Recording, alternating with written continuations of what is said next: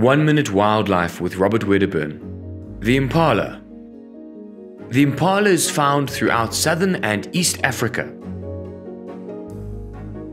Impalas make up the primary diet of many predators like leopards, lions, and cheetahs.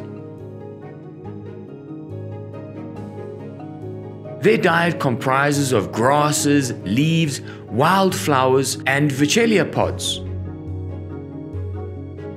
This is a medium-sized antelope and can accelerate extremely fast and run as fast as 80 kilometers per hour.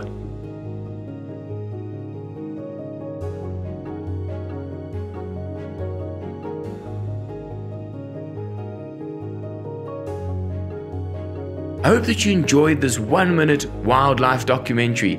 Like and subscribe for more.